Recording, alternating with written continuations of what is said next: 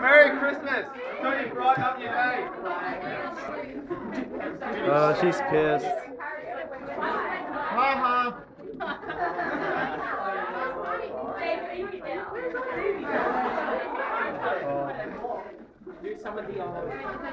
ha.